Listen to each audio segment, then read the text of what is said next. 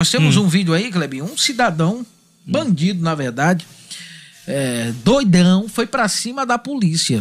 Andou murro nos policiais. Uhum, nós temos imagens aí, é, desse, desse vídeo divulgado para quem tava na festa. Começou ali uma briga, a polícia foi olhar pra TV. Quando chegou, meu amigo, o cara partiu para cima dos policiais, deu um murro e, e nós temos imagens. Mas deram uma surra boa nele, não? Foi conduzido. É, teve que, que dar, porque não ia apanhar, né, Luiz? Polícia, os policiais... Bota aí, Clebinho, o cabo de pé apanhando. Pra deixar temos um vídeo aí do, do momento, ó. Olha aí. A festa rolando, Riachuelo, Arraiá do Povo. É. Aí, ó, ó o momento. Partiu pra cima da polícia, bufete e vai. E ele brabo, ó, sozinho, ó. Olha. Eita, pegue polícia teve que usar alguns disparos de advertência para o suspeito se entregar, não é? o momento que disparos tiveram que ser feitos. O cara tava agressivo. Acaba, sério. Antigamente a polícia dizia mão na cabeça, o cara é. ia. Agora não, vai pra cima da polícia. Cara respeitava, né? Respeitava. É, a, a... é porque não estão dando uma pisa nesses cabas sem vergonha. Antigamente se respeitava é. a polícia. Remédio de doido é oito doido. Bast...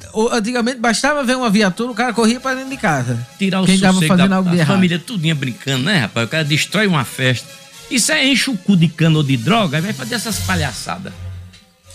Pois é, na, nas imagens aí, ó, é possível ver o exato momento que ele partiu para cima do, do, sargento ali da Polícia Militar. E... Mas deve ter levado uma surra boa também. Deve ter levado. Tem... Eu vou torcer que sim. Agrediu, né, a, os policiais. Muito doidão, né? Misturado aí cana. Uns três chutes bem seguros nos ovos, pronto, acabou. Ele fica bem bonzinho. Fica ah, ladrão. Daí, tá foi detido, conduzido à, à, à delegacia, vai responder pelo crime de agressão aos policiais militares. Luiz, durante o final de semana, o deputado estadual Luiz Eduardo se envolveu em um grave acidente. Dudu. Isso foi pela manhã, na entrada de Macharanguape. Nós temos imagens aí é, pelos, Parece que ele estava errado, que ele disse Pelas que primeiras informações, ele teria cochilado. Ele, foi. Ele disse, eu estou errado, mas eu não sou mulher. Parece que teve uma discussão, né? Foi entre ele com. Foi duas carretas, dois caminhões, foi? Dois caminhões. Nós temos imagens desse grave acidente. Graças a Deus não se feriu, mas foi um, um, um, Aí, um impacto muito horrível, forte, um horrível. acidente grave. uma bomba. Há informes que ele teria cochilado. Pelo menos são essas informações. Ele Foi na madrugada?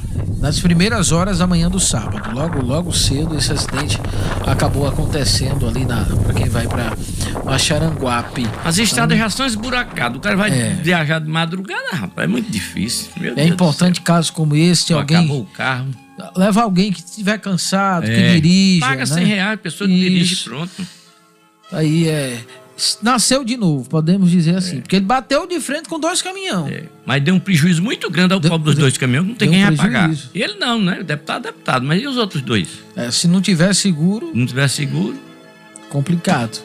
É, então... SOS rastreamento. 991916565. A Polícia Civil está investigando esse caso, mas as primeiras informações são essas que ele tinha, teria cochilado. São essas, os primeiros relatos que chegaram para a nossa equipe. Em conversa da nossa equipe com Luiz Eduardo, ele disse que está bem, apenas escoriações, dores no peito. Os motoristas dos dois caminhões envolvidos no acidente também estão bem.